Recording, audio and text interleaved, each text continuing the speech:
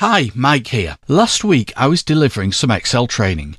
I was showing the group how to set up a list for filtering, and somebody asked if it's possible to save the criteria so that you can quickly reapply it, rather than having to set up the same criteria time after time.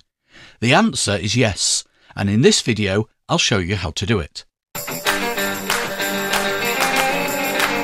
Here's a list of employees I'm going to apply a filter to the list. I only want to see the employees who are based in the UK who work in HR. So I'll click the drop down for department and select only HR. And I'll click the drop down on location and I'll select only UK. Then after I've looked at that data, I want to clear the filter. I can do that in a couple of ways, but the quickest way is to click the Home tab and then click Sort and Filter and click Clear. Then I want to apply another filter. I want to see only the employees where the location is Italy. So I'll click on the drop down arrow against location, click on select all to take the ticks out of everything and select Italy. And that shows me just the records where location is Italy. Now, suppose that getting a list of HR employees based in the UK was something I had to do every week. As it is now, I'd have to manually apply that filter again. So I'd have to select location and set that to UK only. And then I'd have to select department and set that to HR. To save time, what I can do is save the criteria and then reapply it with a couple of clicks. I'm not suggesting saving every criteria, just the ones that you might apply regularly.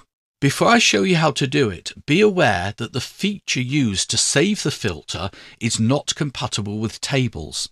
So if your data is already in a table, which this data is, you'll need to convert it back to a range. If I just click on the View tab you'll see that custom views, which is the button that I want to use to save the criteria, is grayed out.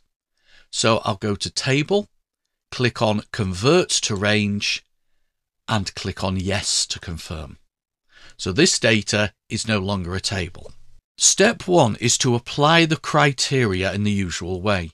Now that it's no longer a table, the filter drop downs have disappeared. So from the Home tab, go to sort and filter and filter and then apply the filter that you want. So in this case, its department was HR and location was UK.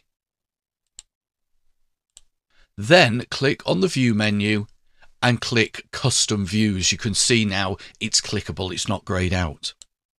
Then click on the plus sign on Windows, the button says Add, by the way. On the Mac, it's a plus sign.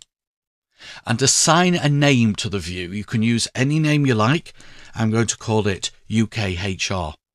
The most important thing is that the checkbox that says hidden rows, columns, and filter settings is ticked. Doesn't matter too much whether you tick the print settings checkbox or not. It's the second one, the one that includes the filter settings, that's the important one. And click OK. And then I'll clear the filter by clicking on Home, Sort and Filter, Clear. So to apply the filter, you click on View, Custom Views, select the view and click Show. You can create as many views as you like, each one just needs a name, and then it's a case of just bringing up the list of views and selecting the appropriate one. You could automate it even further by creating a macro to automatically select the view that you want and assigning the macro to a button. Well, I hope you found that video useful. If you did, please give it a like. And if you're not already subscribed, please consider subscribing to the channel. I'll catch you in the next video, but until then, have an excellent day.